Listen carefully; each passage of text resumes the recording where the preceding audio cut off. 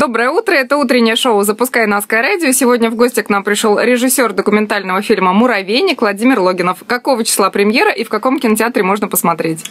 Премьера состоится 16 числа, а посмотреть фильм можно во всех кинотеатрах Эстонии. Сходите в кино. Сходите в кино.